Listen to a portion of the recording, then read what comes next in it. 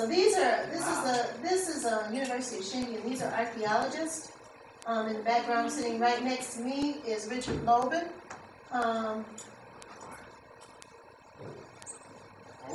um, is Richard Lobban, and he's wearing a jalabia. And you see that, you know, when people talk about there are no black archaeologists, that's a lie. There are thousands of black archaeologists. There are thousands of black researchers to school, mathematicians. One thing we do know in ancient Nubia, there's an academic tradition from a long, long, long, long time ago, over six, seven thousand years. And the type of Egypt in, in um, Nubia's history, six thousand years ago, they had universities. You don't have a university without building upon knowledge. Just don't snap university. So uh, we're finding out a lot of this information. So the origins, the, the title of our presentation from here on, In Search of is just the origin of, of religion.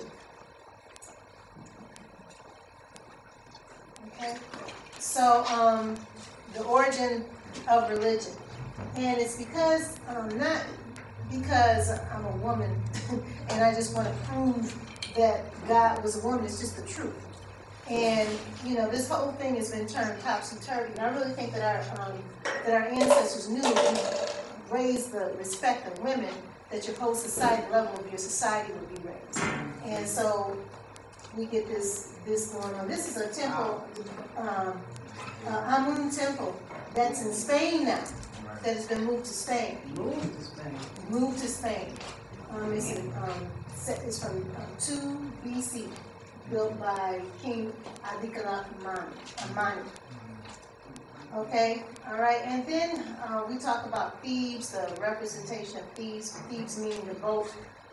The the symbol for Thebes is a crescent. It's shaped like a snake. We know that the snake has to do with the Earth Mother, and the and the um, and the pyramid on top representing um, the crest of a ship and all that kind of stuff, going back to Osiris in the Earth ship passing through the the sky.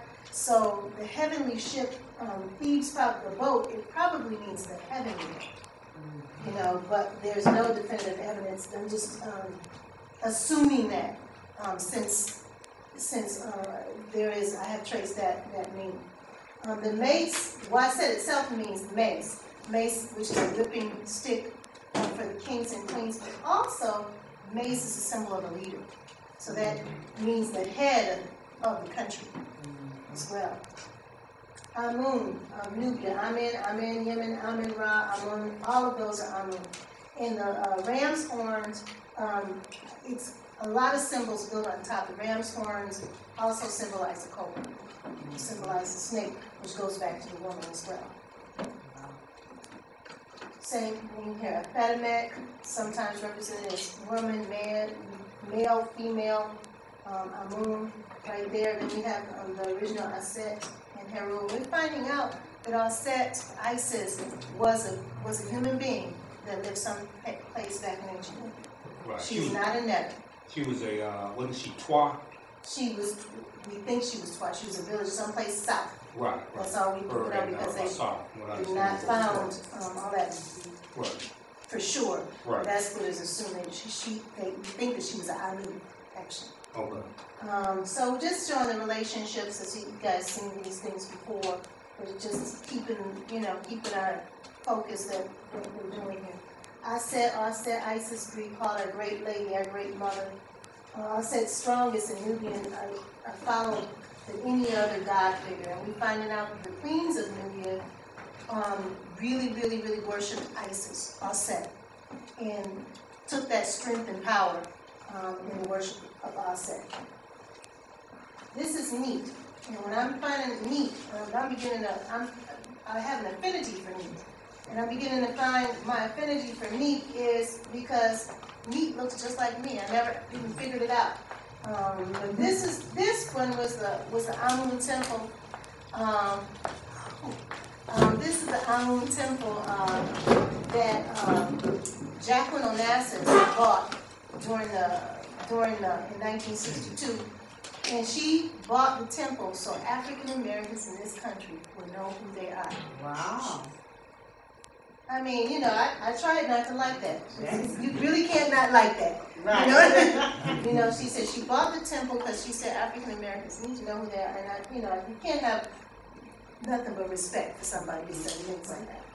Neith with the loom on top of her head, leaving, uh, weaving life into creation. Also, we think Neith is, she's the first representation of God, the oldest representation of God. Neith here, this is a, um, this is when the Europeans come and bronzed it, but Neith still, they haven't taken away her African features. The as on top of the head, meaning the crown and authority, having traced back to the earth mother. Neith here with the loom, and the keys, we're finding out the people that only carry the aunts are the deceased. So, Neith, at this point, is not a living God because she has a key. Neith having a, the head of a lion, so Neith can be ferocious as well as for wealth, as for, for um, prosperity. And the lion the, is the seat of royal power, It symbolizes the seat of royal power. Neith being holding a bow because she's from Taseti, all right, the land of the bow in ancient, in ancient Nubia. So Neith is, and you see she has a Nubian um, crown on top of her head here. The red crown is a Nubian uh, crown, the white crown with the top of it, which seems to me, I will talk about that too, is represents something too. This is the largest um, Parthenos in, from, uh, this is Neith Athena, but this is in Tennessee, I believe it's Memphis, Tennessee, at the museum. And Athena is nothing but me. She has all the symbols of me. They just changed her a little bit. She even has the, she even has the ears of a cow, going back to Hathor. And This is the largest representation.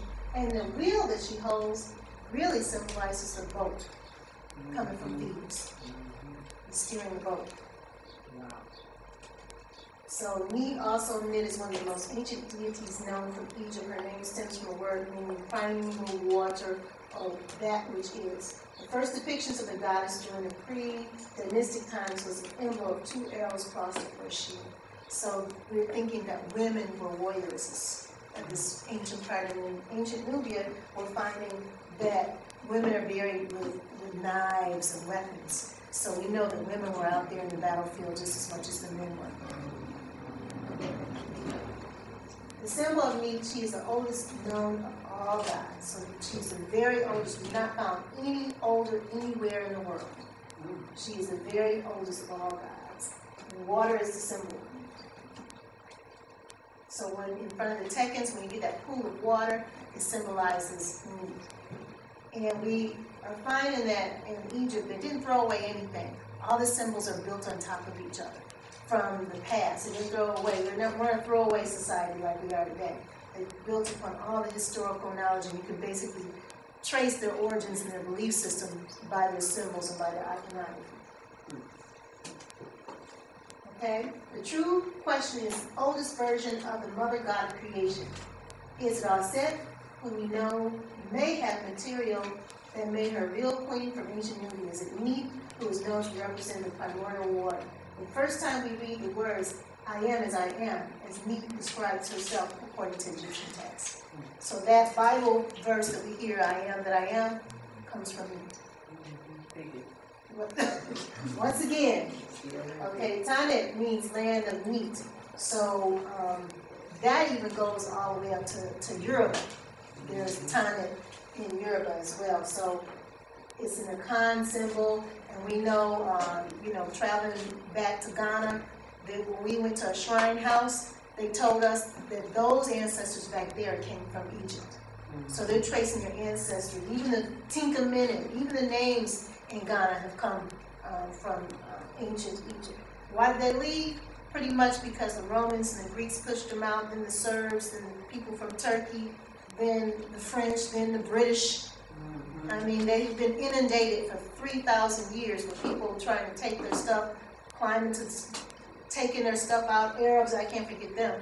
Um, the Arabs that have dismantled the pyramids. In the hotel me and my husband stayed in, um, the, the, the stones were in the floor of the pyramid that were stolen from the, from the pyramids where it was a smooth rosette, a rose quartz, were right in the hotel. For water, and metal measure, actually again, coming from the word